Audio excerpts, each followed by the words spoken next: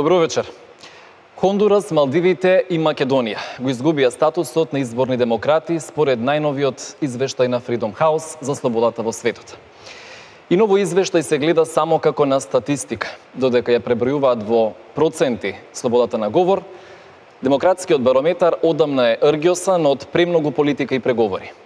По толку многу закони и правилници, земјава се уште котира катастрофално на сите индекси на слобода на говор, за кој преговараше пржинската четворка. Одамна е јасно дека кога политичари кројат решенија, а потоа треба само законски да се аминуваат, со притиснато копче во собранието, тоа самото по себе значи дека решенијата се килави.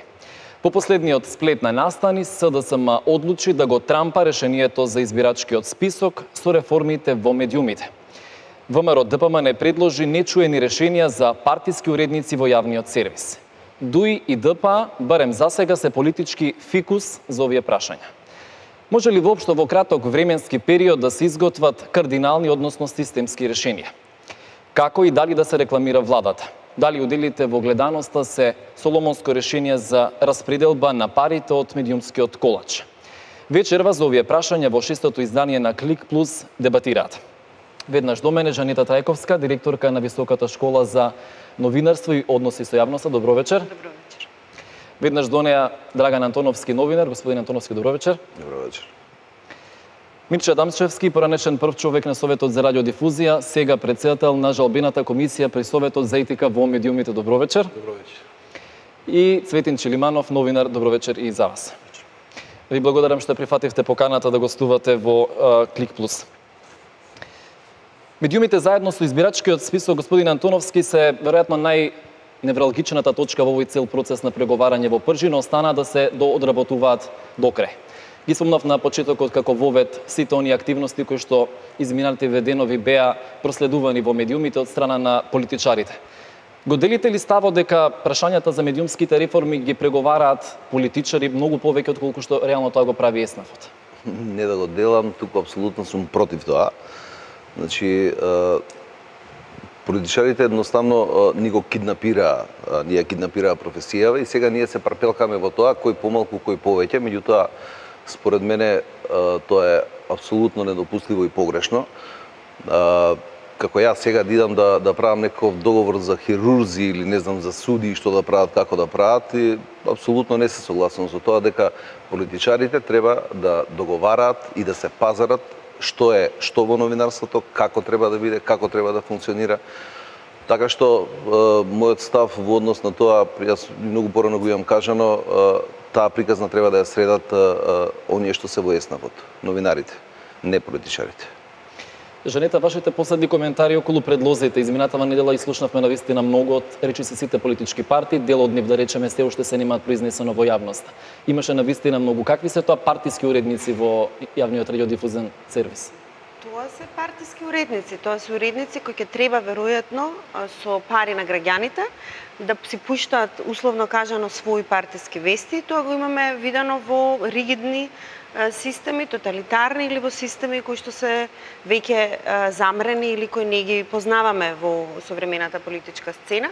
Мислам дека тоа беше еден тип на блеф и продолжување на оној еден предлог кој уште летоска го имавме од другиот политички субјект, субјект за да се купи време, бидејќи мислам дека ниту еден здраворазумски професионалец би го прифатил тоа, со тоа едноставно се става уште една јамка околу новинарството и новинарството ќе стане чиста, веќе со закон озаконета и регулирана, само продолжена рака на политичките партии. Ако треба да бидат уредниците партиски, какви биле досега во македонската Е, тоа е на вистина добро прашање. Ако, ако студена пред избори, како системско решение ставаме а, уредник на опозицијата, само по себе тоа кажува дека тој што бил уредник до тогаш, а, кој што е избран нели од од раководството, бил всушност уредник на власта на вистина е смешно и мислам дека дури не треба ни да го дискутираме толку е бизарно еве да речам ова ова решение дадено од едната политичка партија. Да. Господин Адамчевски, истото прашање за вас.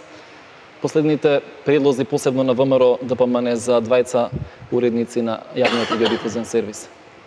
Не е прифатливо, мислам, лично за мене тоа не е прифатливо, затоа што е, да се каже дека партиите ќе имаат своји уредници Тоа звучи многу а, неприфатливо, од проста причина што имаме ние и едно мнозинство големо во државата кое што ќе нема свој уредник.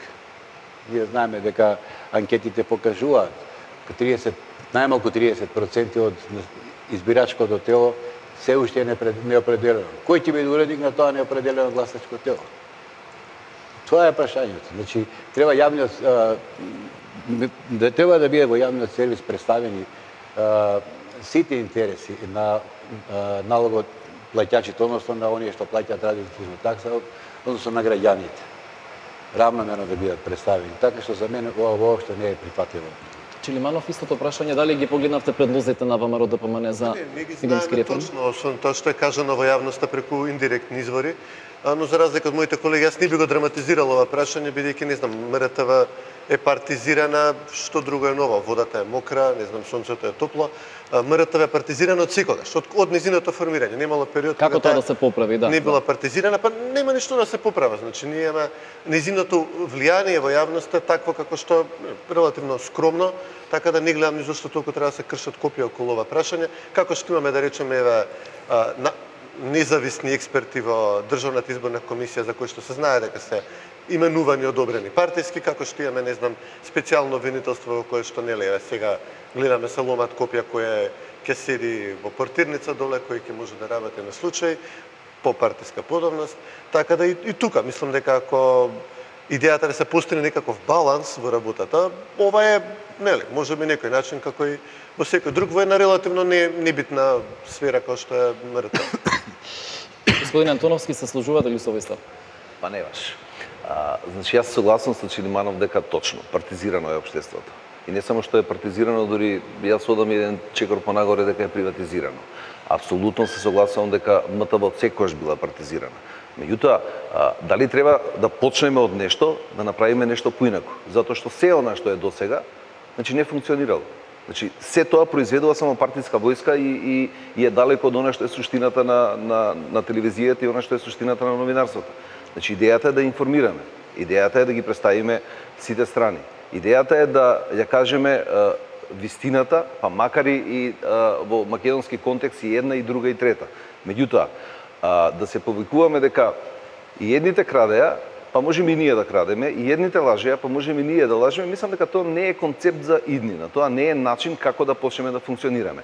Инаку, апсолутно, а, тоа почна, а, тоа е почнато а, се, целиот пакет на, на МРТВ од, од секојаш бил под влијание на партиите, од секојаш бил под влијание на, на политиките.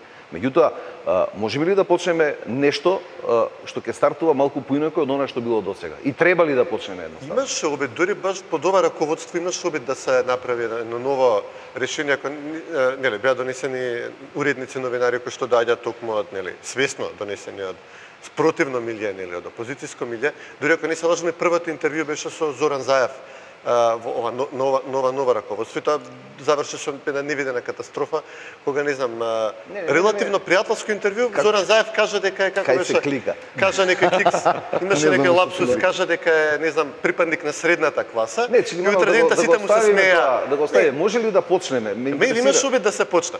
Дојде Заев во на интервју во МРТВ со новото раководство и кажа дека он е припадник на средната класа и ќе работи за средната класа. И утре дента сите се смеа, ама чекај човече, ти си милиардер, како можеш да бидеш средна класа?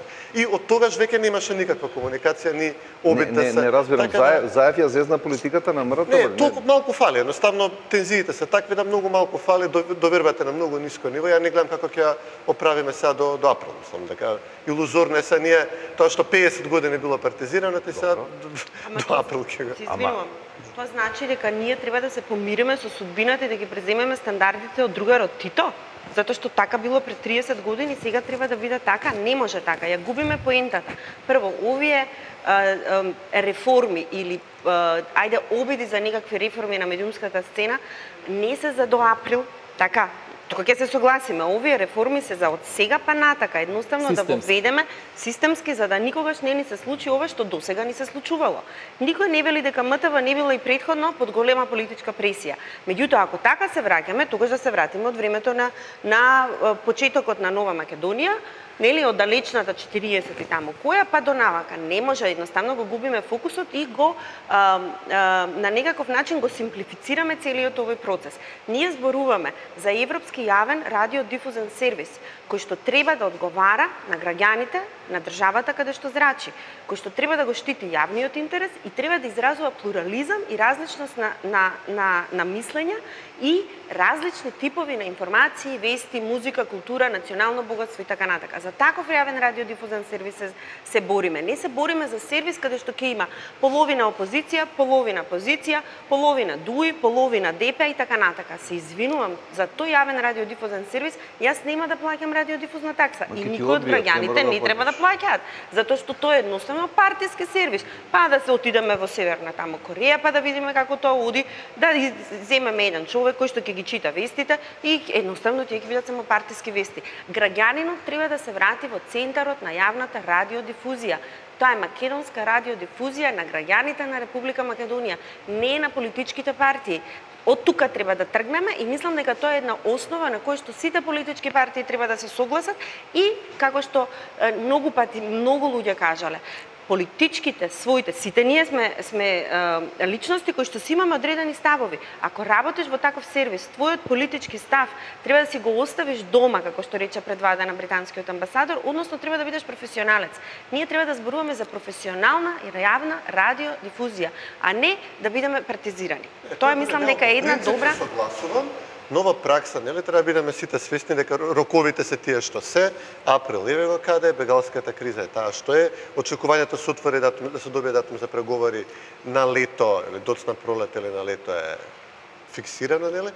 Така да не можеш ти нешто што е криво растено бидеш. 50 години сега да го исправиш до април. Не Да можеш точно да и, и, и заблуда е да некој ако мисли дури дури да стави само луѓе на на опозиција или дури да стави само луѓе на власт. Значи медиум не се менува за три месеци, не се менува ни за четири. За да направиш ти вистинска телевизија, за да направиш доверба, за да значи треба години.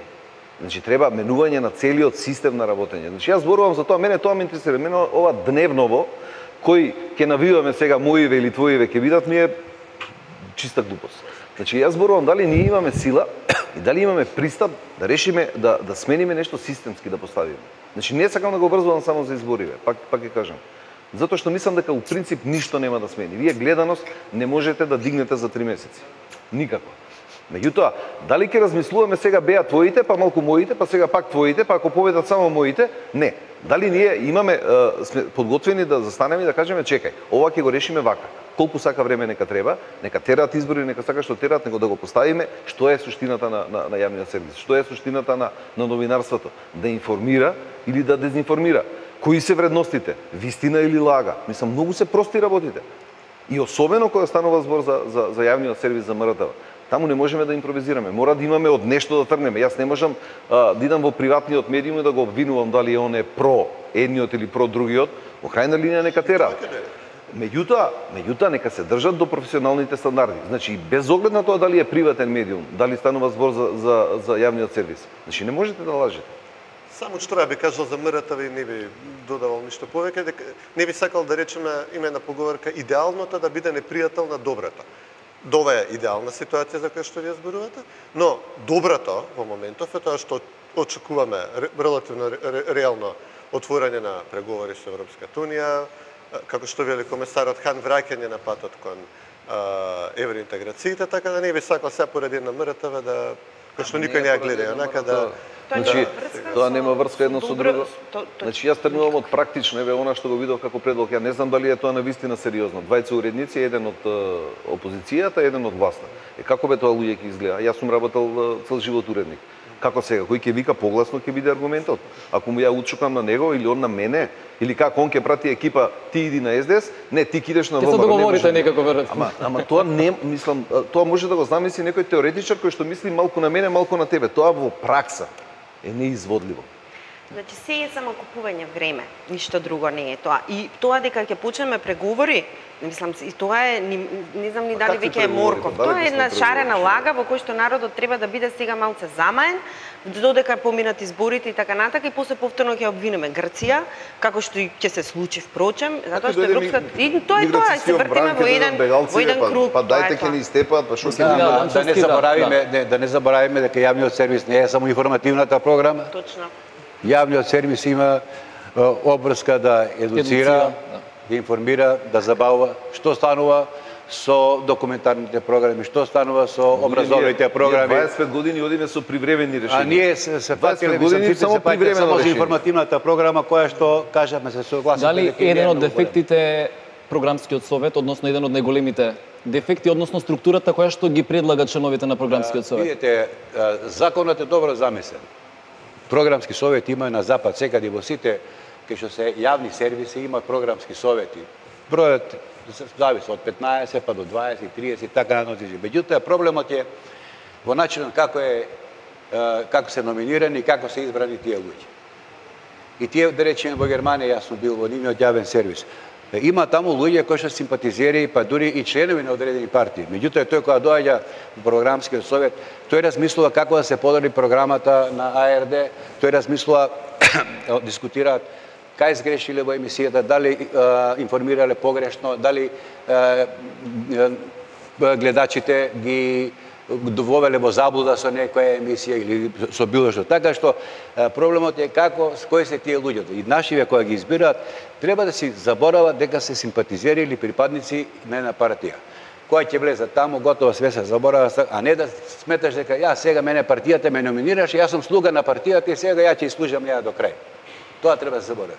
И нормално околу изборот има многу добри критериуми. Па и во сегашниот закон има критериуми. Меѓутоа, сето тоа кога ќе дојде на тие комисии во собранието, поминува се и се што дали било или дали било не бе, добар е рече тој. Не може да предлага да речеме еве сега во моментов а, адвокатската комора, кога знаеме дека председател таму е личниот адвокат на премиерот. Поранешниот премиер. Молам? На поранешниот. премиер. Да, на поранешниот Да. премиер, да. Истината. Не може. Или овие што се локалните заедници. Знаеме дека локалните заедници се 90% се 90% може би повеќе се а, владеачки се таму а, а, ВМРО ДПМН. Па тие ќе предложат некој друг. И сега го предложили, него доаѓа тој на работа и вика, а мене ме предложи од партијата таму, ја морам да бидам слуга на партијата. Е, додека е така, ќе немаме јавен сервис. Значи, тоа е улогата на програмскиот совет, да се заборави се и се што, да се мисли на јавниот интерес, да се мисли како да се подобри работата и не само во информативниот дел. Информативниот дел може би е и, и најмала работа. Таа зарачи 24 часа. Значи, тие треба да се исполнат 24 часа со, со друга програма, не само со информација. Господјо Трајковска, како изгледа избалансирано известување? Една минута за власта, една минута за опозицијата, за едните пуштате од добро вечер па натаму вие сте присутни, а на другата страна ги пуштате најжестоките поенти. Тоа ли е избалансирано известување? Па тоа што сега во моментов го гледаме, тоа од прилика така личи, не е тоа избалансирано а, известување. Ние заборавивме дека избалансирано известување значи да ги имаш сите, најмалку два, но сите, а, ајде да кажам, чинители во една приказна, сите засегнати страни, а кога се работи за политичкото известување, тогаш да ги имаш сите политички субјекти кои што се дел од таа приказна. За жал, она што сега го гледаме во најголем дел е фаворизирачки однос кон владеачките, владеачката структура и демонизирачки однос кон оние кои што се опозиција, односно кон сите оние кои што условно условно кажано се на спротивната страна. Зошто? Заради тоа што биле критички да речам крити, имале критички осврт кон одредена кон работата на владата на РМ. А, поранешниот премиер убаво кажа во а, неговото обраќање пред а, Унијата на жени дека не може се да е лошо што тоа што го прави власта. Се согласувам но не може и се да е добро тоа што го прави власта. Така да не можеме ние од сите од 30 минути вести 25 да имаме само во позитива да бидат и фреймувани, врамувани и истакнувани делата кои што во тој момент или тој ден ги има направено нели владата на Република Македонија. Значи критиката во интерес на јавноста мора да се врати не само на јавната радиодифузија и приватните медиуми, ако се приватни, тие имаат обврска и лиценца, израчат и имаат добиено фреквенција и да имаат добиено дозвола од страна на државата да работат така, значи ни влегуваат во нашиот дом, да работат во интерес на граѓаните. Се разбира дека тие може да имаат политички став и може да, но тоа да биде издвоено, не ние да слушаме 12 минути коментар во вестите со најава е сега јас ќе ви кажам што треба вие да мислите. Едно од најневралгичните прашања секако е финансирањето на македонската радиотелевизија. Има неколку опции отворени. Ако се сеќавате, прогласен е мораториум за сите владени реклами во медиумите. Смената ли е состојбата, господин Антоновски, изминативе 6 до 7 месеци? Немаме владени реклами. Смената ли е состојбата? Не знам дали не се заглавуваме вака во поединости, во, во еден детаљ, во друг детаљ, во трет детаљ. Говориме значи, за финансирањето, да. Јас сум убеден дека а, а, сите знаеме како треба. Јас сум убеден дека а, а, и едните и другите знаат што може, до каде може и колку може. Прашање е на волјата. Дали сакаме да, да, да се држиме до стандарди, или сакаме да ги злоупотребуваме а, медиумите и да го представуваме тоа дека тоа е тоа вистината. Знаеш, ние политичарите не наместија во целата приказна да гледачите, граѓаните, новинарите, дека единствено тоа што излегува на медиумот е тоа е вистина. Друга вистина не постои, нема. И мора да веруваш во тоа што ќе ги дадат. И кога ќе ти ги земат медиумите политичарите, на крајот се сведува дека единствено тоа е паметно, единствено тоа е реално, единствено е тоа вистинито што излегува на екранот. Потоа финансирањето на овој или на оној начин како да дојде, сакам да кажам, можеме да дојдеме до решение. Меѓутоа само ако седнеме да го бараме решението да го барат оние што се луѓе во професијата, новинарите, експертите, професионалци, имаш еден куп луѓе кои што не е дека знаат само политичарите како треба и како може. Има луѓе кои цели генерации кои што цел живот работеле новинарство, има луѓе кои што ја не знам кај е универзитетската јавност во, во, во цела оваа дебата, никаде ги нема. Излегуваме само ние новинарите, излегуваат про и контра оние што се, меѓутоа тие луѓе ги нема. Влегуваат политичари и со експертска анализа и кажуваат како може да се финансира, што може, колку може. Има решенија. Значи пак се сведуваме на тоа дали сакаме да ги видиме и дали сакаме да да решиме.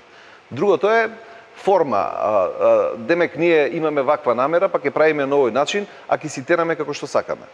Значи вие може да донесете милион закони во оваа држава, има има многу добри законски решенија. Суштината е дека не се почитуваат законските решенија. Значи и во, и во овие закони постојни кои што се дефинирани, се знае како треба тоа да функционира. Не го почитуваат, не важи за нив. Важи за некој таму смртник обичен, меѓутоа за она што генерално не важи. И сега кога кога ќе полемизирате, вели, ама ние имаме законско решение, имаме европски закон. Па што ако имаме европски закон кога имаме балкански навики? Или кога имаме а, а, политички партиски војници кои што спроведуваат само тоа што ќе им биде наредено, а не тоа што треба. Значи, се е изместено. И сега а, а, еден сегмент ќе вадиме сегмент по сегмент ќе го решаваме, а, мислам дека е Да, секција е важно особено затоа што да речеме владиното рекламирање беше посочувано како едно од најголемите проблеми во тој медиумски пакет. Ма најголем проблем е вистината и лагата. Владиното само подпомага да остане лагата да ја нема вистината. Значи поддржувањето на медиумите кои што ви одговара нивната вистина, остануваат во просторот. Оние кои што а, кажуваат контраприказна од вашата ги нема во просторот. Трнати се или се затворени или се не знам по некои портали или се не знам каде што. Значи тоа е реалноста, тоа е реалната слика. Господине Челиманов, смени ли нешто мораториумот за владините реклами во медиумите? Па, е, знаете што јас долго време се зборува дека тоа е голем проблем во а, новинарството. Еве сега гледаме дека всушност медиумите сакаат да остане таа, та, да, нели, и опозицијските и провладините сакаат да остане таа тоа субвенционирање да речеме на медиумите, но да се воведат некои правила кои што до сега до некаде ги имаше, но сега да бидат фиксирани. Значи делот тие пари да се делат равномерно на сите медиуми, а дел да се делат скалесто според гледаноста.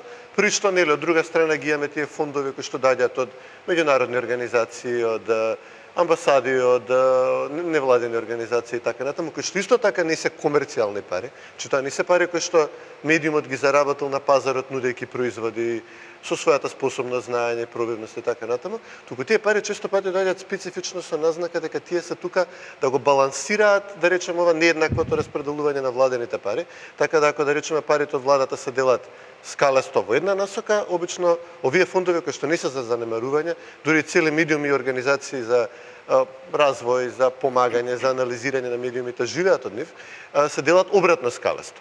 И често пати нели амбасадите знаат да кажат да, ние балансираме владата.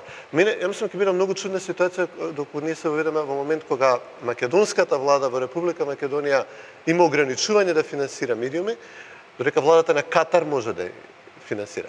Кога владата на Норвешка може да финансира, владата на Холандија може, владата на Британија или на Соединетите Американски држави може.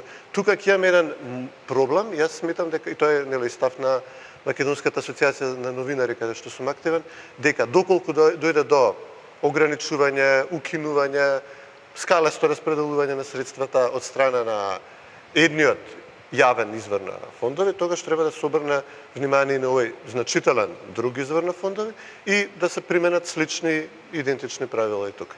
Господин Адамчевски? значи, потребата од финансирање на медиумите сега да се истакнува. Ја и Чилиманов каже и во Америка и во Холандија, меѓутоа тие таму не ги финансираат големите медиуми. Тие ги финансираат регионалните медиуми, ги финансираат мали медиуми, локалните, локални и медиуми на заедниците кои што немаат средства.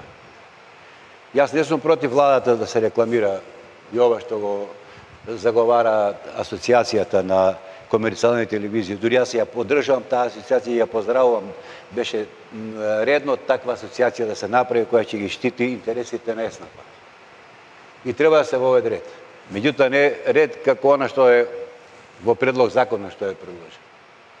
Не може така да се воведува ред во рекламирањето, односно во делењето на владините реклами. Не може тие едно независно регулаторно тело да го прават подложена рака на власт. Тоа е така формирано уште со првиот закон кој беше донесен за Советот првиот кој беше за радиодифузија и подосна и законот за агенција за аудиовизуелни медиуми. Таму јасно се каже дека тоа е независно регулаторно тело. Е сега што во време последниве години што стана приврзок на власта тоа тело, тоа зборува дека веќе се изместени работите. Не, не зборуваме више за независно тело. И на такво тело сега ние сакаме да му ставиме тоа да одговара таму за, не знам, од определување кој ќе зема, како ќе зема. Тоа тело, тело треба да се ги регулира е, работите на медиумите, им ги дава лиценцијите, тоа треба да следи дали тој радиодифузер го почитува законот дали работи според тие лиценци. Има мониторинг на, на... Нормално имат мониторинг, следа се и се што и тоа е негова работа, тоа е работата на агенцијата. А не та да, да ги дели средствата, да ги да помага да речеме делењето на средствата на, на владините пари. Пазете. Значи директно владата тогаш е во спрега со тоа тело. Не може тоа. Мора тоа да се направат. Јас а, сум наставот дека има, да речеме, која секое министерство, па и владата е предплатник на вестници. И распишува тендер, сакаме се да купиме, не знам, толку вестници од ова, толку и вестниците нудат. Која цена, колку, што е, како е. Па владата, ако има во програмата за оваа година да рекламира 50 сати, нека распише јавен тендер, како што распишува за печатени медиуми. Имаме толку време, ни треба телевизиско на комерцијалните телевизии, толку, не знам, за локалните телевизии, па повелете, аплицирате според одредени критериуми. Дали ќе бидат критериумите за 50% сите, па другите според гледаноста, не сакам да навлегувам тоа. Тоа треба да си да го кажат таа асоциација на независните на комерцијалните медиуми и асоциацијата на локалните радиодифузери. Тие тоа треба да го кажат. Меѓутоа си има тендери, владат дека се оди преку тендерите, нека закупува време, као што закупува рекламен простор. Владата во печатените медиуми закупува рекламен простор на тендери. Значи, постои решение. Нема потреба тука да ја мешаат агенцијата. Да. Побаравте збор господин Чемеров? Би сакал да се надоврзам на тоа што го зборуваше господинот Адамчевски за Агенцијата за медиуми и Совет за радиодифузија поранешен. Значи, мислам дека дојдовме полека до главната тема на оваа дискусија, тоа е не се влечкаат овие разговори поради улогата на МРТВ или поради владиното рекламирање. Овие разговори се влечкаат токму поради тој оригиналниот предлог на СДСМ од почетокот нели на тоа што Зоран Заев го нарекува регулирање на медиумите, а тоа е да се агенцијата да добие нови овластувања, да добие експлицитна задача да спроведува тоа што ако не се лажам а, Жанита го нарече балансирано известување или да има нели некаков баланс во известувањето на комерцијалните медиуми кои што реално се главен извор на информирање на граѓаните. И овој предлог е, значи, колку и да е, не знам, лоша или добра ситуацијата со медиумите во моментов, какви забелешки да имаат репортери без граници или Freedom House или кој да, доколку ова навистина се спроведа регулаторно тело во кое што, како што СДСМ бараше опозицијата, ќе има директор кој што ќе може да решава самостојно, или според предлогот на Ван Хојте за кој што стои СДСМ, повторно да доминираат проопозицијски невладини организации, не, предпоставката дека ќе бидат такви, и тоа тело да има овластување да казнува медиуми за изнесен став, за балансираност, неизбалансираност, за начинот на кој што се презентирани вестите. Ние тогаш на вистина ќе ги заслужиме овие крајно негативни оценки што во моментов ги имаме. Јас моментално сум на став дека не ги заслужуваме овие често пати небулозни коментари дека сме, не знам, 150 во свет според слобода на медиуми, не знам, заедно со Таджикистан и Мали дека сме 117. Таджикистан е едно место пред нас, Катар е две места, Мали е под нас. Мали е држава која што е делумно окупирана од ИСИС во моментов, имаат за едно место полоше медиумер Македонија, мислам, да мога. Но доколку на вистина дојдеме во ситуација да има регулаторно тело кое што ќе мири на штаперица, ќе кажува кој водител како ги водел вестите, вклучително и оваа телевизија, да може да изрекува казни, парични казни и да, ги, да го затвори медиумот. Тоа ќе биде страшно. Нас не треба дополнителна дерегулација на медиумите. И често пати овие дискусии со господинот Ван Хојте, со амбасадориве, нели, некои од нив знаат да кажат, Иван Хојте знае да каже дека ќе се дерегулирала работата на агенција на медиумите, значи агенцијата помалку ќе казнува за програма, македонска музика, пуштање, продукција, домашна такви работи, за работите за кои што денеска казнува, но и денеска агенцијата е релативно повлечена во својата улога. Нема широки овластувања или не ги практикува, не казнува нешто драконски или не знам забележително. Зоран Заев кога зборува, не зборува за дерегулација на медиуми, зборува за регулирање на медиуми. Тоа е многу различно концептуално и мислам дека тоа е главната причина поради која што разговорите толку се одолговлекуваат. СДСМ сака да има регулаторно тело под своја контрола со кое што ќе може да липи казни на сите страни, ќе влоши состојбата значително. Не, господин Адамчевски. А, да го надополнам, мислам и малку поинаков мисле имам. Значи, СДСМ вчера се откажа од нивниот предлог. И јас бе против нивниот предлог. Да. Тој е првиот предлог што сега за, за комплетна регулација на науката. они И вчера се да вчера го повлекоа листот. предлогот. Вчера го повлекоа и викаат сега за Ван Хојте. Меѓутоа што е проблемот во агенцијата? Ние имаме прекрасен закон. Меѓутоа, и тој закон е правен по европски терк. Нормално некои работи треба да се променат во него да се дотера.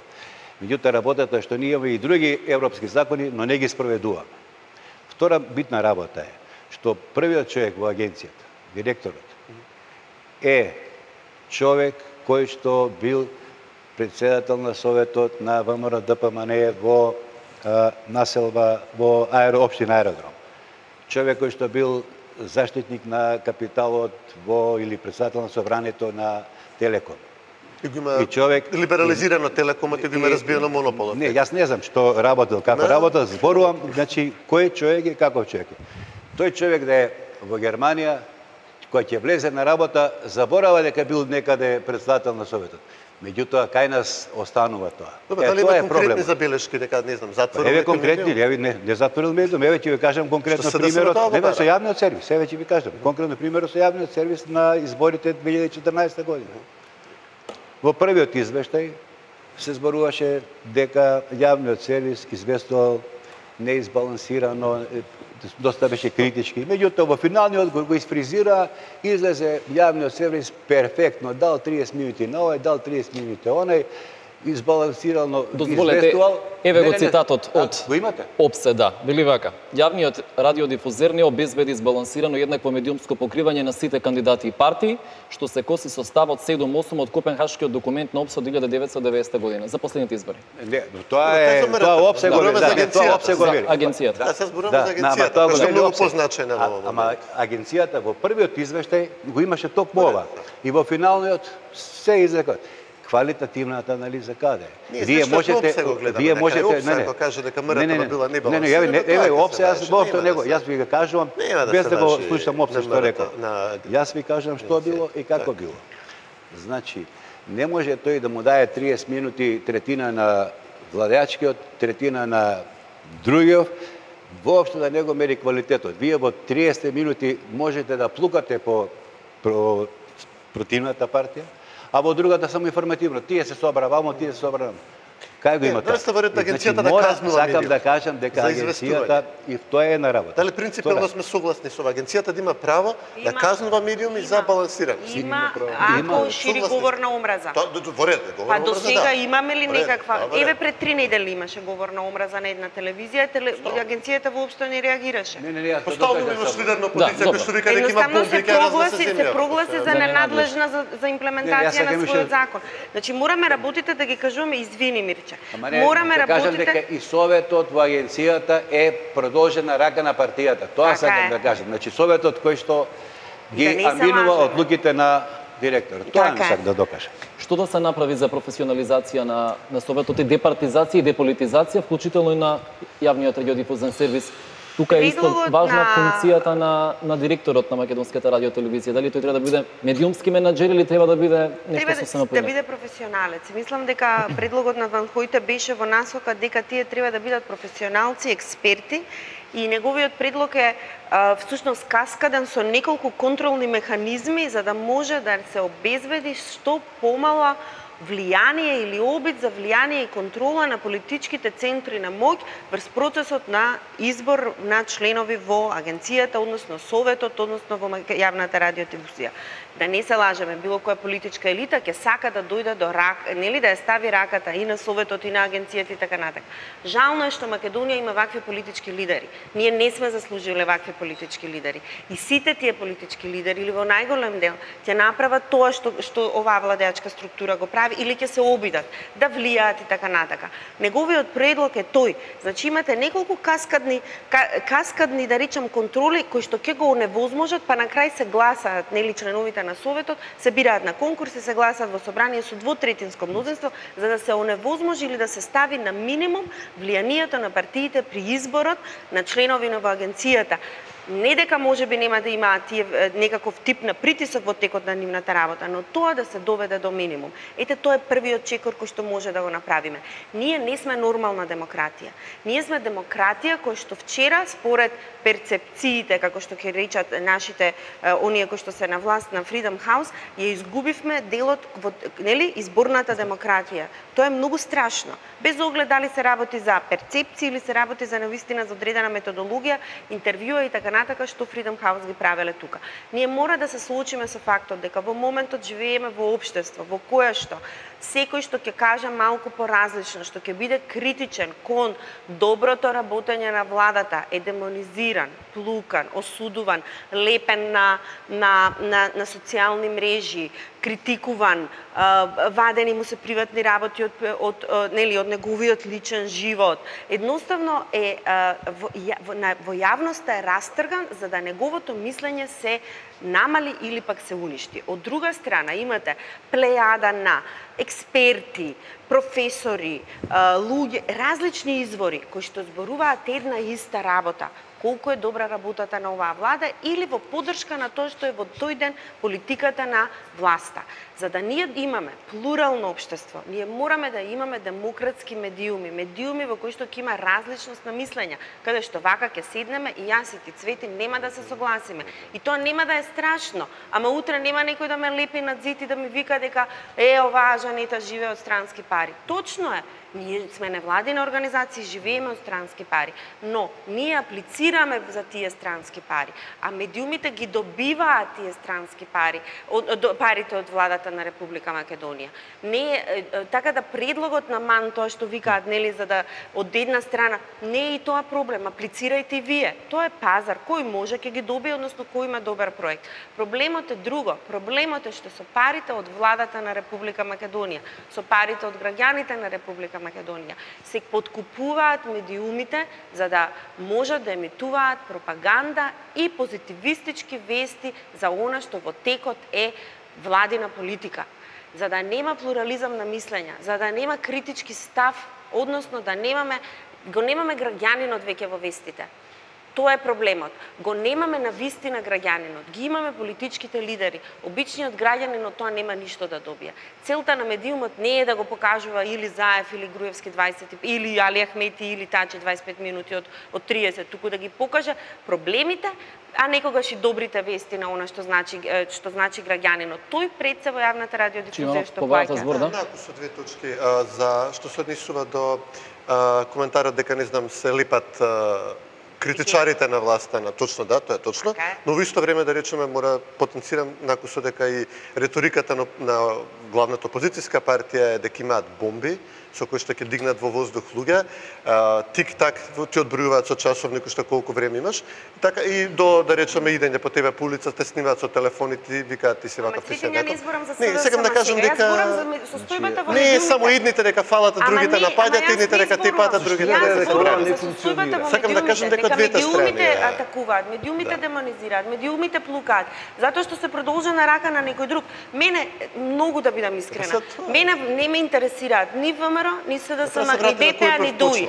е Мене, ма не ме интересира ни кој Ма не прв почна. Јас сакам да живеам во нормална граѓанска држава, каде што кога ќе пуштам вести, сакам да слушнам на вистина што се случило дента, без да биде спинувано, без да биде манипулирано, без да имам тројца експерти што исто зборуваат, без да имам тројца професори кои исто зборуваат. Сакам да го видам граѓанинот, сакам да видам пет различни мислења. Тоа е тоа е развојот на едно општество. И да ги не сакам ако кажам нешто да бидам шпион, соросоид, странски послушник и против државата и државен непријател број и- има 1. еднакви такви Кој ќе го продаде за бајдове и страна. името на државата? Има идентични Ама- епитети ама- за другата. значи, Сега сега- да бидеме Зошто- коректни. Сега а поентата е зошто тоа да биде правило. Па не, Тоа не сакам да биде правило, ама не е само Не едната можеме да страна се тука. помириме со Ама- таа ама, состојба, не смееме. Во која дебата ќе влеземе? Дали сега ќе си ги мериме кој повеќе го напаѓа едниот или другиот, или ќе се ние сме на стадион на арена, гладиатори доле се тепат и овие навиваат за едниот, за другиот уби го. Не е не е поентата во тоа.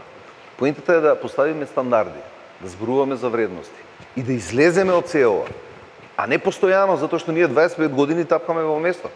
Значи, се менуваат елитите, се менуваат, се осамостоивме, една елита ветува, друга елита ветува, ние ќе влеземе во ЕУ, секојаш има некоја горе приказка која што е далечна, аха, сега ќе влеземе, утре ќе влеземе, и се едно исто ни се случува. И, и, на, и на крајот целата дебата е, а вие што правевте, а ние што правевме.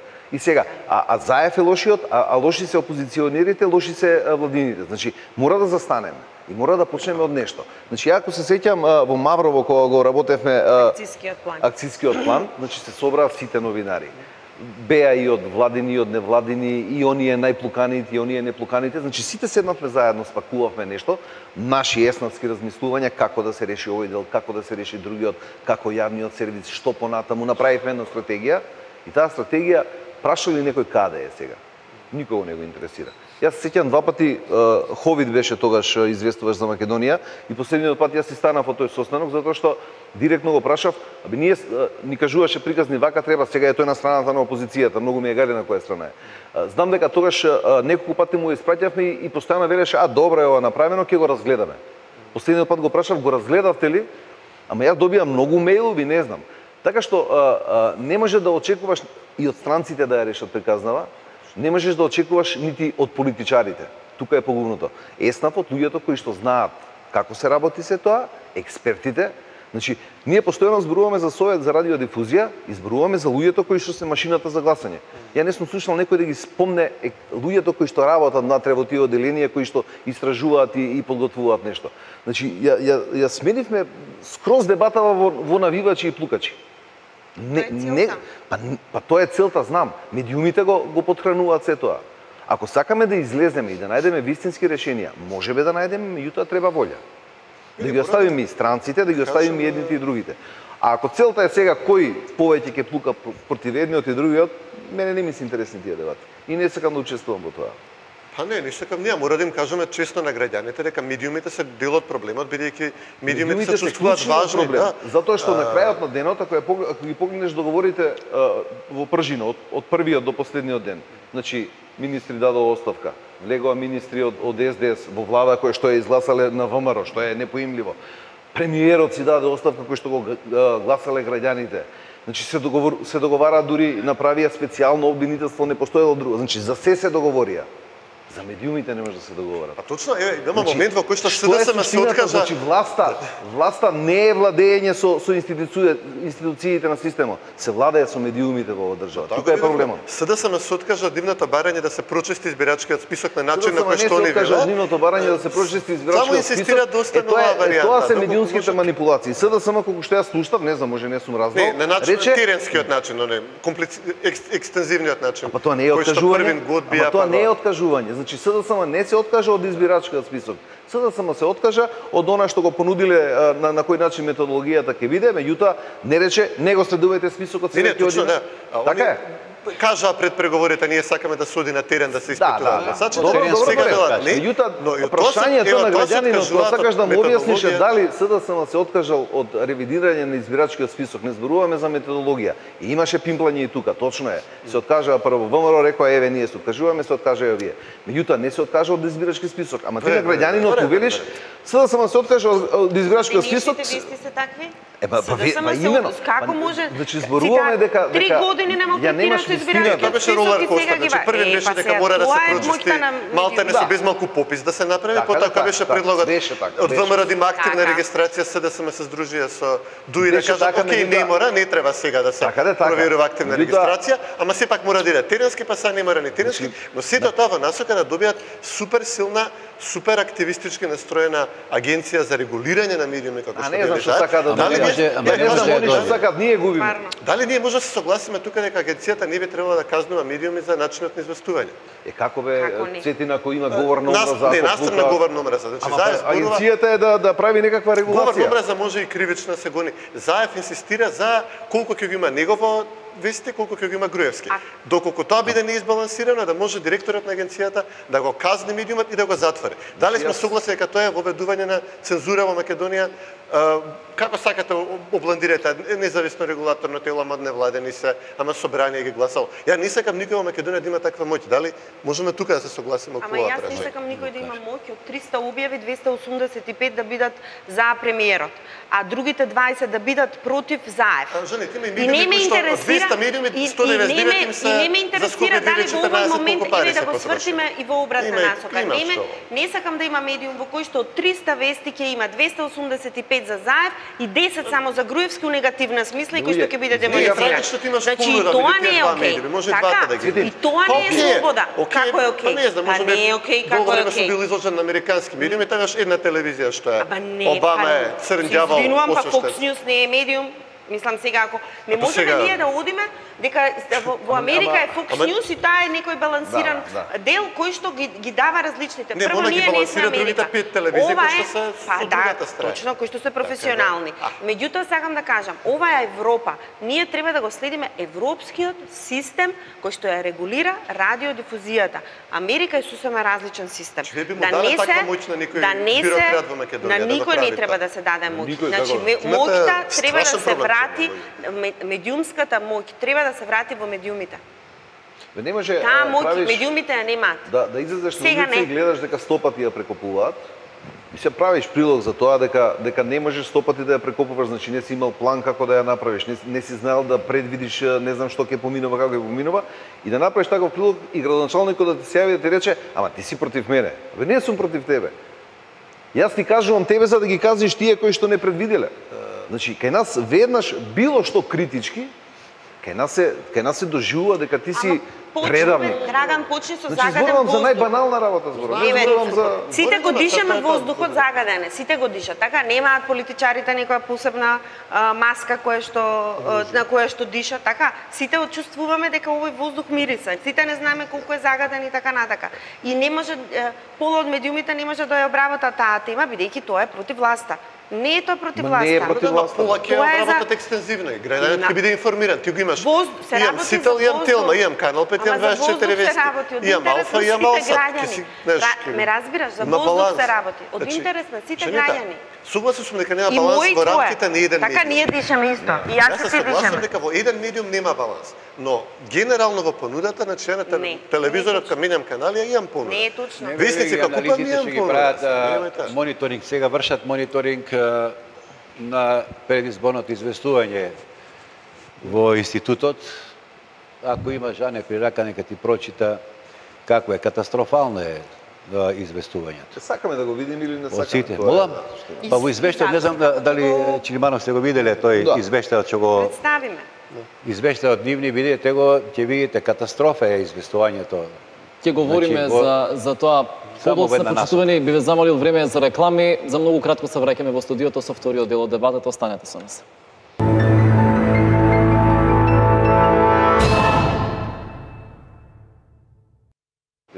Добро дојдовте во вториот дел од Клик Плюс на македонски јазик. Дискутираме за медиумските реформи како политички пазар и сето она што е актуелно секако овие денови во јавноста поврзано со ова прашање. Господин Антоновски, синдикатот на новинари и медиумски работници понуди еден нацрт колективен договор за регулирање на дел од прашањата кои ги засегаат новинарите. Дали реално тие прашања се во сенка на оние политички преговори кои што моментално се одвиваат, а се во насока на реформа на медиумите. А медиумите не можеме да ги гледаме секако засебно од новинарите. Иде, ако ме прашаш мене, е, синдикалните работничките права се клучни во, во медиумите, така што нема, нема да дојдеш никако до професионални медиуми доколку не ти се регулирани овие доле, заради тоа што ако не си вработен, ако не ти е, немаш редовна плата, а ако немаш дефинирано колкава ќе биде висината на платата, да секогаш ќе може некој да дојде од страна и да те купи и да ти рече ќе зимаш плата ако јавуваш на овој начин или на оној начин, ќе бидеш вработен ако играш пона како ние што ќе ти го кажеме. Така што е, по мене тие се суштински работи. Значи ние подготвиме еден колективен договор буквално со сите што се во медиумската индустрија, од е, сниматели, камермани, тонци, е, сцена, новинари, уредници, репортери, дописници. Сите медиумски работници генерално. Апсолутно. Да. Со сите разговаравме што е она, што не функционира, што е она што што не можат да си го дозволат, односно што што газдите ги експлоатираат и дојдовме до, до, до некакво решение кое што е колективен договор кој што понатаму ќе треба да се преговара со со На каков газдите. прием наидовте сега за сега, не знам, неколку не- недели од како го презентиравте во јавност или можеби мислите? Ние го презентиравме во јавноста, а, разговаравме пред се со колегите да ги запознаеме дека дека има некаков таков документ за кој што можеме да почнеме и да да дефинираме некои работи во во поглед на оние што се работнички права и она што се соочуваат новинарите и медиумските работници. Следната фаза веројатно ќе бидат неверојатно него ќе бидат собствениците, газдите, со нив ќе разговараме да да видиме каде можеме да се најдевме. Тргнавме од една можеби максималистичка позиција, но мора да се тргне од нешто за да се испреговара. Како се тоа ќе оди, ќе зависи многу од новинарите, заради тоа што првин тие треба да сватат дека дека треба да се изборот за нешто, никој нема да им даде. Значи никој нема, нема да им даде дневница а, плюс ако работат а, за празници или ако работат прекувремено или ако одат на пат, ќе им ги платат само јадењето, сендвичот и ништо повеќе. Значи мораш да го бараш тоа за да ти го дадат. Не можеш да очекуваш дека газдите на на овој простор ќе ти дозволат такво нешто ќе се обидат да те експлоатираат на, на пет работни места, ти ќе мораш да водиш и емисија, да читаш и вести, да снимаш, да бидеш и репортер, да, да се што може да, да, да, да те натиснат. Значи, таа приказна прво зависи од нас, новинарите, А потоа колку, да. па потоа од другите. Жените има повеќе бизнисмени во медиумите или новинари? Зборуваме за собствениците или за Зборуваме генерално. Па мислам дека сега имаме малку така, имаме новинари, не можеме да генерализираме и секоја чест на тие кои што останаа професионално да ја вршат работата, на вистина се светулки во во ноќта, но имаме и новинари кои што решиле едноставно да се соочат со односно да се согласат со притисоците и не можеме да ги обвиниме бидејќи пазарот е тој едноставно нема каде да работат, имаат Екзистенцијата екзистенцијата Да. е зависи од нив, семејствата и така натака. Имаме луѓе кои решиле да направат избор, излегле од, од нивните работни места, па почнуваат некои своји мали интернет портали и така натака. Меѓутоа имаме доста бизнисмени исто така и меѓу новинарите, за жал и тој клиентелизам помеѓу а, медиумите, помеѓу дел од новинарите и дел од уредниците и а, владеачките структури во Македонија е страшен. И токму заради тоа, нели кога зборувавте преска за рекламите и така натака, мој став и ставот на нели на организациите со кои што работиме и се работуваме, мислам дека тука имаме една уедначена да речам еве уедначен став дека во овој момент владени реклами не треба воопшто да има, без оглед кој ќе биде на власт, нели? И така натака, воопшто во овој момент Како решение, освен да. како решение, барем во еден во неколку години, бидејќи тоа е канал низ кој што се а, едноставно се купуваат медиумите, а од друга страна а, се разбира дека има потреба за, инфор, за информирање на јавноста и за кампањи од јавен интерес. Јас лично сметам дека тие кампањи од јавен интерес треба да бидат ограничени, строго определени и дефинирани што е кампања од јавен интерес и да одат на јавниот радиодифузер кој што е јавна радиотелевизија и треба да ги емитува. И никој не го гледа. Господине Данчевски, Па, да сте се сега да сте сега прв човек на агенцијата за медиуми, што прво би промениле? Прво што е променило? А, Прво и барал совет нов да се избере. Прво нов совет да се избере, меѓутоа беше јас кога бе беше сосема друга работа. Тогаш јас бев прв меѓу еднаквите. Ние бевме тогаш девет мина, бев прв меѓу еднаквите. Меѓутоа сега да сум прв човек треба да сум директор во онаква. Агенција, така да. да не можам да од таа позиција да зборувам. Инаку, прво што би барал е да се промени советот на членовите на Персоналниот на советот состав на советот? Да, да, Да. да, советот. Затоа што као директор јас не можам да се сменам себе си, него би ги променил советот, би да се избере еден демократски совет, односно на демократски начин да бидат а, луѓе од ЕСНАФот, луѓе независни и кои што ќе ги коригираат, да речеме, моите одлуки као директор. Ќе бидат коректив. Нема да дозволуваат да забегувам, да речеме. Чилиманов, го спомнавте извештајот на Freedom House за Македонија. Спомнавте дека не баш му верувате во поглед на тоа како е рангирањето во поглед на слободата на говор. Зошто? Па види, имаме еден сериозен проблем тука, во тоа што а, организациите од Македонија кои што се работуваат во изработка на овие извештаи, невладините организации, се во голема мерка партизирани и прикријани. Значи, тие формално не се членови на партија, но не знам, медиумскиот центарот за развој на медиуми е отворено веќе дури повикуваат на протести да се оди со, на, кога СДСМ да организира протести и они одат на протести, а они ги пишуваат извештаите, не знам, влијаат во голема мерка на извештаите за слобода на медиуми. А, не знам, Ирекс извештаите, ако ги гледаш учесниците во тие дебати, навистина, тука а, а, во еден момент ние имаме ситуација во која Македонија наводно била 30 и некое место во светот. Сега одеднаш на ранг на Таджикистан и Мали, како што кажав. Истите новинари се, истите газди се, ништо не е сменето, освен што нели.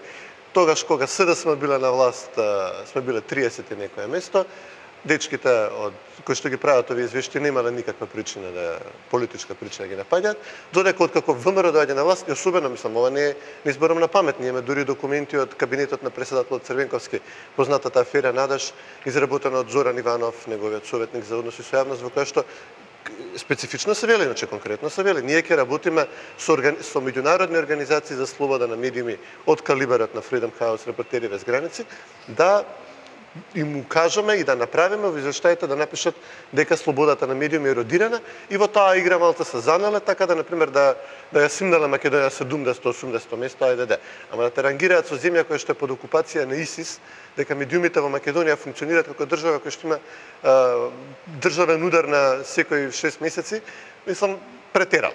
И сега тоа потоа се одразува, не знам, Freedom House ќе се повикаат на Ирекс, Ирекс ќе се повика на Центарот за развој медиуми, они ќе се повикаат, они примаат налози од СДСМ или од Влада Милчен и имаме тука навистина вистина. дури еден систем кој што сам себе се одржува кога тебе парите што ги добиваш а, ти зависат од тоа дека медиумите не функционираат и треба да се оправаат, кој интерес имаш ти да кажеш дека состојбата е подобрена дури и кога е подобрена? Дали е тоа само перцепција господин Антоновски, дали се надувани бројките, дали воопшто ни треба статистика за да утврдиме каде сме во поглед на медиумите и медиумските слободи? Па мене обично кога ме прашаат граѓаниве за едните или за другите си, а, тоа е нели тоа тоа е редовен пакет и кога ќе кога нема да им кажам име, обично им велам ај брцни си у джебот и кажи ми колку пари имаш сега во моментов, дали можеш да отидеш на одмор, дали можеш на зимување, дали можеш да си купиш некоја парталче што ќе го видиш на прва тука да се облечеш, да си купиш кондури, си направиш мерак, да отидеш со семејството еднаш на два месеци на вечера, Можеш и тоа, ај па не претерувај, вика ти сега. Да не е многу. Тоа е многу, да. Зборуваме за елементарни работи. Така што колку колку се ова е, не знам, Чилиманов вели од, од еден извор или од едни се врзуваат на други, меѓутоа факт е дека да речеме во овој меѓупростор а, факт е дека една еден телевизија ја нема. Значи тоа не е Факт е дека не плакаше данок човекот и Па во Викиликс го има. Ама дека не гале велија факт. дали платил данок. Јас зборувам за телевизијата и, и, и зборувам за она кое што влијание кое што го имаше. Дека нема таков простор сличен кој што да речеме може да влие и да биде критички настроен. И кон едни, и кон други, и кон трети. Значи тоа е факт.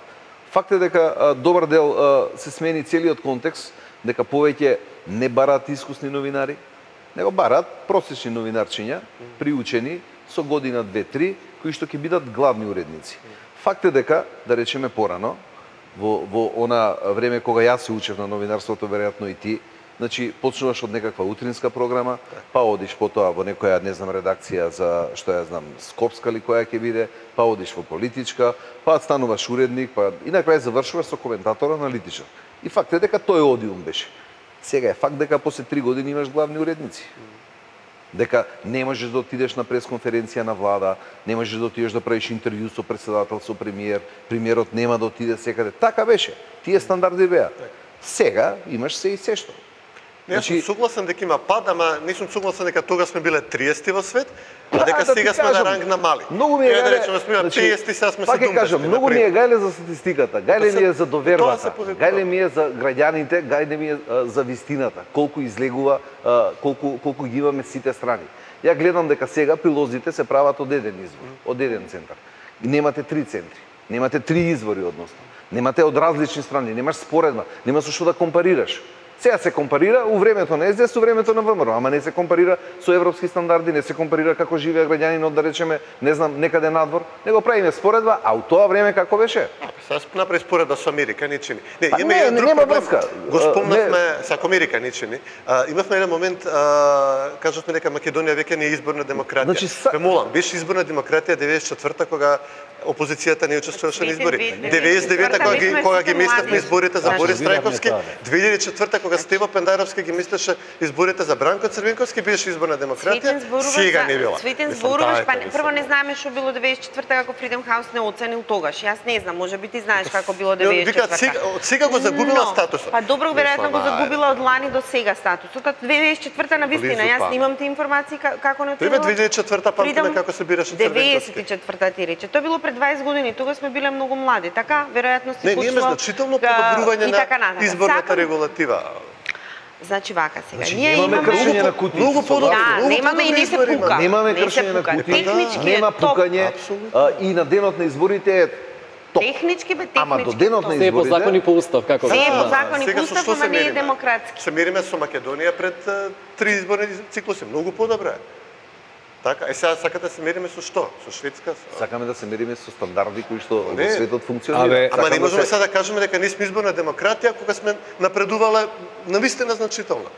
како бе напредувала кога слушаш што правеле, како правеле, затворимо го дуќанот, ќе му ги скршам ова, а, не знам, Ово па тогаш ова, да се ги слушал што имало. Мола? па А па тогаш да се ги слушал што имало. Ама добро, не, не дошле Ама во јавност, сакам пак да ти кажем и сега зборуваш ти изборна демократија. Добро рече Драган, да, до изборите да видиме како е. На самиот ден не е битно како било. Изборите Битно е до изборите како се било. Или вреќата црна, дај прати човек таму да видиме. Тоа ли е изборна Не, а- демократија? Види, тоа е дури да речеме, ева, ако така гледаме, Абе така, знаеш како е, така е во Русија, така е кај Лукашенко. Ние сме на тоа ниво. Ма, Нашата не, демократија не, и со не, медиумите, не, не, и со не, медиумите не, и со не, све. не. Има контрола Не исто како во Русија, исто како Не, не, кај не, не, во Лукашенко. Русија убиваат новинари, бе, не се зафркавајте, бе, луѓе. Па Ги трујат со па и нас, кај нас како, што и прават на новинарите? Е, што само не што не ги убиваат. Па само што не ги убиваат. Да, таму. Па знаете колку чистки имаше во печатените медиуми? Не, не, не, Знаете? не, мишате... Колку има не, не, луѓе, излезено новинари, не што ова. Ако воопшто. може само да Да, додадам жената Не може. да. Да, Од какви Значи, кликни ние- таму. а, Девалвираме навистина еве, луѓе што ги Регистрирана е, да, да. Значи Кликни. да. Сакам да речем, ние имаме во овој момент една многу бизарна ситуација. Ние имаме три приватни телевизии, комерцијални, кои, кои треба да се борат на пазарот, така, за подоб, за поголем број на гледачи, за подобри реклами, за поголем колач и така натака, кои имаат идентични вести кој нивниот уредувачки колегиум, веројатно од сите тројца уредници и една јавна телевизија, ја знаеме која, си се, со, си се собираат и се викаат, денес ќе си пуштиме прва вест ова, втора ова, трета ова, четврта ова, од тие четири вести, од три ќе биде поранешниот премиер или добрите проекти. Тоа не е комерцијална телевизија која сака да ги гле- гледачите. Во таков вид на уредувачка координација, каде што имате еден уредувачки центар, па може да се да си поставиме прашање како овие приватни телевизии сакаат да бидат комерцијални на вистина и независни. Па не, Што исто е се легитимно, па извинувам сега. сега. И да не симплифицираме и да не ја намалуваме, да не го намалуваме значењето на на ова што сега го кажувам, бидејќи тоа е страшно. Не, тоа ме- го креира јавното мислење. Турските серии не го креираат јавното мислење. Ама жал, нема И да друго, History Channel ти Значи пушта исто е многу важно, значи јас водка, вака тебе кога те слушам е, колку му е тешко, е- колку е е тешко на власта, значи би баја жал за владата на Република Македонија. Значи како, на вистина ми е жал, како во последниве 10 години од 30 на 70 па на 120 место сме паднале. Значи сега треба да ја жалиме? Не, туку треба да кажеме нешто друго. Мене не треба да ми каже Freedom House каква е слободата на медиумите во Македонија. Секој ден го чувствуваме тоа.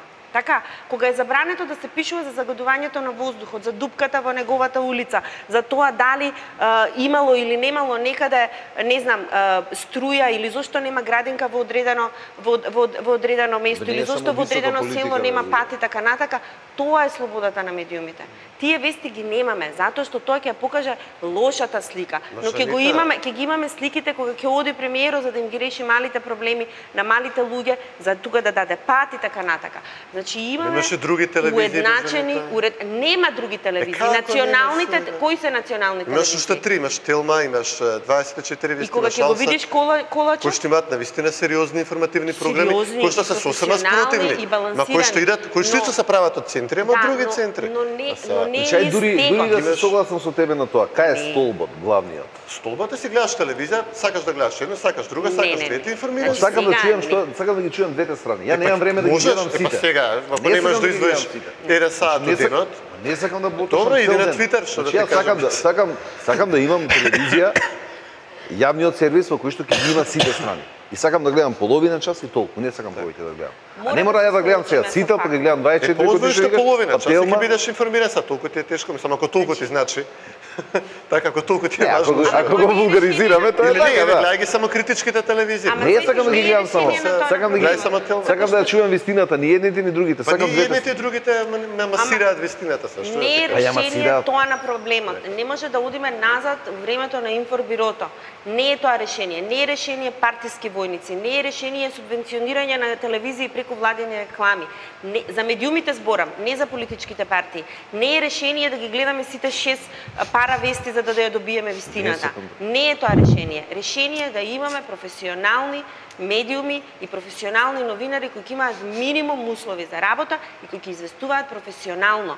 Не како што ќе известуваат во Бали, Таджикистан, Белорусија и така натака. Туку кои што ќе известуваат да согласно направиме стандардите, тоа, дека кои што да кои кои што ние се стремиме. Ти сам рече, ние сега треба да гледаме дека ќе ги почнеме преговорите некаде во јуни, во мај или ќе отвориме, ќе отвориме. да Така на почеток нова. Па ако ги отвориме било кој било кој пакет или било кој кој поглавје, првото ќе биде freedom freedom of the media медија, слобода од медиумите. точно да, Епа, ќе ме не може да гледаме. период Овде да ќе ги отвориме за тоа. преговорите затоа што тоа е убаво колаче на кој што ќе се залепи гласачот за да гласа, ама за медиумиве не, те, па Ма не не, е битно партиски. Во Европа нема да имаме партиски партиски еден од СДСМ, еден од ВМРО и веројатно ги заборавивме. Веројатно еден од ДУ, еден од ДПА на едниот канал. Сигурно, да. Жените застанавте зад предлозите на, на Ван Хоуте, што итно треба да се направи? Што влегува во тој пакет накратко? Значи, сега во овој момент моје лично мислење е дека ако зборуваме сега согласно из, нели изборите на 24 Април, сега да, веќе да. што и да се направи е доцна.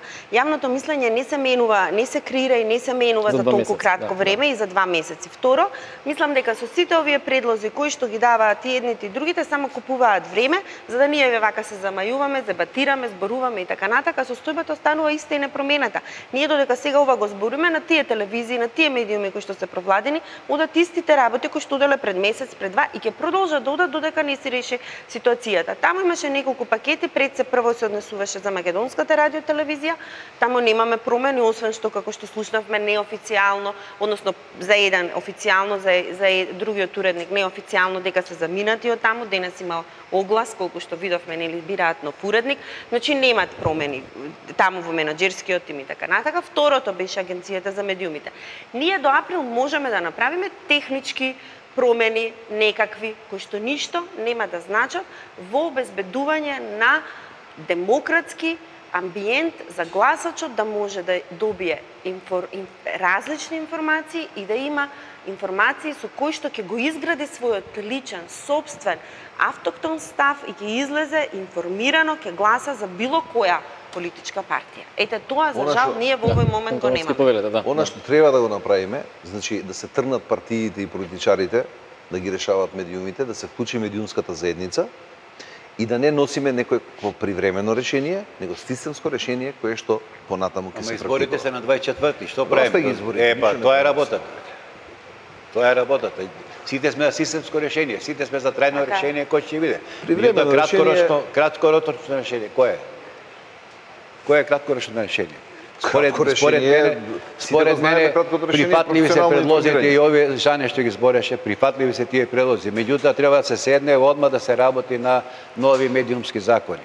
Да се и во кој ќе биде патен и јавниот сервис, и агенцијата, и се што е поврзано со медиумите. Ама тоа е процес, тоа е при може би ќе треба волјата е година, година, сакаме. нешто, меѓутоа и тука да бидеме ние као медиумска заедница, тука да бидеме ние Мене ми е да совршено бидеме јасно дека и ВМРО, ДПМН, и СДСМ, и ДУИ, и ДП совршено знаат како треба да функционира еден професионален медиум. Е, па за тоа се борат, така.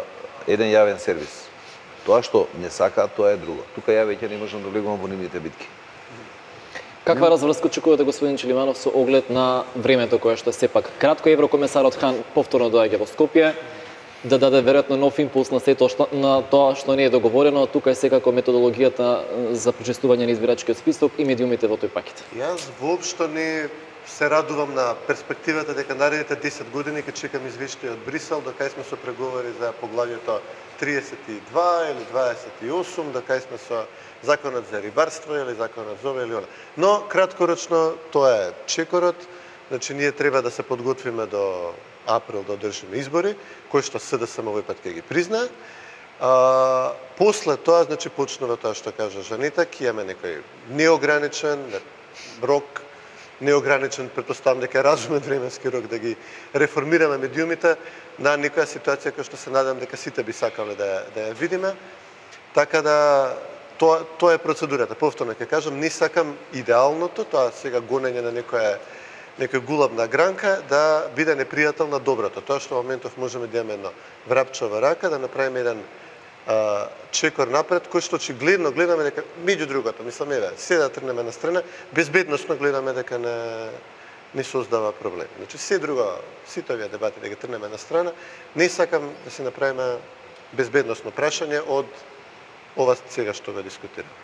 Да. само. Мислам дека безбедносната криза кај нас сега се користи како баук и како средство за плашење, а, затоа што е во координација со комесарот Хан за да се ги реши Европа бегалската криза, да бидеме ние тампон зона помеѓу нас и помеѓу Европа, одно, односно помеѓу Европската унија и Европа, затоа што Фронтекс ќе дојде од наша страна да ги брани границите кон земја членка на Европска унија, Грција, и тоа е малку чудно, нели? Значи суверенитет, држава и така натака, тоа не знам, не сум во тоа стручњак, некој од професорите кој тоа го прави, кој тоа го учи и така натака може да да даде едно значење што тоа всушност значи. Тоа е една меѓутоа тоа бегалската криза и безбедносната кај нас пак се користи на, на, на локално ниво како а, еден бауки страв дека ете нешто ќе ни се случи и така натака. И второ мислам дека шареното бомбонче а, почнување на преговори а, веќе 10 години не лажат така мислам дека и дека исто мислам дека овај во јуни исто една шарена лага а, нема да ни се случи тоа. Дај Боже да се случи, ќе ве носам вака сите на еден убав ручек, но нема да се случи тоа. А, она што ќе треба да се случи всушност е ние да си ја завршиме нашата работа, да видиме што сакаме и какво општество сакаме да имаме, да не биде денес прочитав дека дневно по 40 луѓе си оделе од ова парче земја, Ако продолжиме вака како што е, веројатно бројката ќе биде уште поголема. Значи од нас зависи колку и тоа да звучи патетично или пак да е порака и така натака. Ако ние не сакаме од ова парче земја да биде држава, заедно со политичките лидери нема ништо да се случи и ќе си заминеме сите во Канада. Да, господин. Апсолутно од нас зависи. Јас се согласувам. Мене не ме занима ниту Хан, ниту другите приказни околу ова зависи од нас, од нашата политичка елита, што сака да направи од, од ова парче земја дали сака да го направи бегалски камп, тампон зона, дали ќе се согласи на тоа. Значи не може да ни кажат ако они ги бркаат одгоре сега не знаат што да прават затоа што им се растрчале по жените, ќе ги ставиме у Македонија. Не може они да ни кажат на овој или на оној начин, тоа зависи од нашето лидерство. Како ќе се спазарат, тоа зависи од нив. Не зависи, не може никој да им нареди. Значи, е, сега ако си играме со таа приказна, аха, сега ќе пукне, готово е, ќе дојдат, ќе не напунат, не може да не напомнат ако ние не се согласиме на тоа. Значи од нас зависи, не зависи од нив. Се зависи од нас. И решението со, со бегалскава криза од нас зависи колку ќе се согласиме да спакуваме некакви стандарди и колку брзо ќе влеземе во, во ЕУ, ако влеземе, од нас зависи како ќе ги договориме и медиумите, како ќе ги договориме изборите. Сите знаеме како треба. Дали сакаме? Адамчевски? Па пред се политичката волја. Ја мислам дека партиите треба да се да покажат политичка волја тие проблеми со кои што ќе треба најверојатно да се соочиме наредните предми наредниот период да бидат што побезболни за обичниот човек.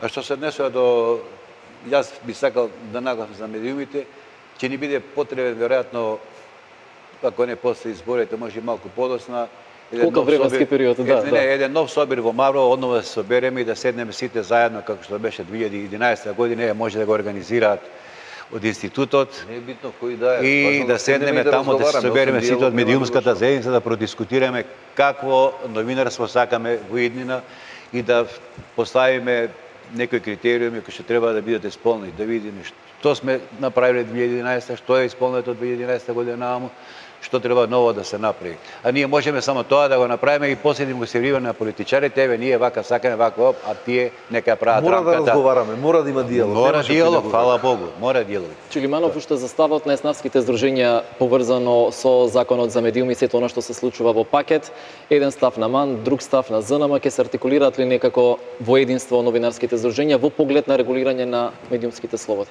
Па нема потреба се не не е ништо страшно ако имаат различни ставови. Јас само ќе на брзинка ќе ви кажам ставовите на МАН, тоа е дека пред се медиумите тука сме согласни дека новинарите требаше да учествуваат на овие разговори. Голема а, предност на постоечкиот закон е тоа што тој беше донесен во согласност и во соработка со новинарските здруженија, а овој се прави без никакво присуство на новинарите и не можеме ни да очекуваме ништо подобро да добиеме од тоа кога овој пат нели тој клучен елемент го нема. Нов закон според МАН не е потребен, особено имајќи предвид како што кажав повеќе пати дека стартната позиција на една од партиите кои што учествуваат на преговорите дека тој закон треба суштински да промени улогата на агенцијата за медиуми и да направи полицаец на сите медиуми кои што утре на сите ќе ни собиат глава. Дури некој ако мисли дека сега нешто ќе добие од тоа, треба да води сметка дека утре ќе се сменат работите, па потоа тој ќе се соочува со казни и со затварање. А, кажавме веќе за дистрибуцијата на на средствата, значи колку што еднакво, не знам, колку што има обвинување дека владините пари се делат а, а, неравномерно, нели, само на една страна, не еднаков начин парите на невладините, на Соросовата фондација, на амбасадите, одат на другата страна, исклучива исклучиво партиски, исклучиво тенденциозно. Дури тој свесно го кажуваат, велат дека тоа го прават за балансирање, доколку има принципиелно решение за едните, некомерцијални средства, јавни средства, би требало да има и за другите. Не се согласувам со Драган за ставот за минимални плати, колективни договори, јас би сакал пазарот да се остави да работи, млади луѓе да влегуваат. Сега пак на почетокот се да враќаме тоа. Па не, да се согласиме, окей, ние сме разговарали Да, друг да, пат. Не се согласува да има минимална новинарска плата 18.000. Проблем е. Да, бидејќи нема да биде вработен ни еден млад новинар, бидејќи за тие пари, бидејќи стартна плата реално е 10.000 сега. За да почнеш да работиш, па после Сори, новинарот е сепак нешто првиот чекор да го направиш во медиумите. Така да, да, имаме очигледно нели, имаме и Да. на вистина различни ставови, тоа е добро, добро е што ги имаме. Лошо е што, нели, се иде на тоа да се оди во прекумерна регулација, партиски одлуки без учество на новинарите. И а, сами, види, меѓу другото, и сами си го направивме проблемот, инсистирајќи на тоа дека имаме, не знам каков проблем на ниво на држави како Мали и Катар. А реално го немаме. Не.